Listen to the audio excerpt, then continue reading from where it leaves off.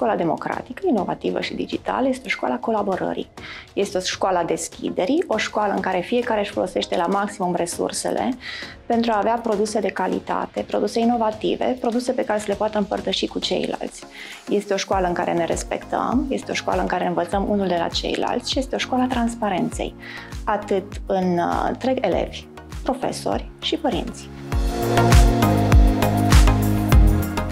Cred că o școală digitală, inovativă și democratică este o școală care pregătește elevii nu doar din punct de vedere academic, ci îi pregătește cumva pentru viață, îi pregătește să fie niște elevi uh, ancorați în realitate și în comunitatea din care provin, niște elevi uh, activi și responsabili care își doresc alături de profesorii lor să se implice în uh, problemele reale ale comunității. O școală democratică și digitală este una în care profesorii dețin un ansamblu de competențe digitale și le și aplică în activitatea didactică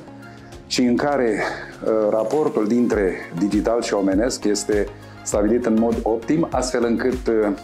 rezultatele învățării și ale procesului didactic pentru fiecare să fie cel mai potrivit sau să fie optim.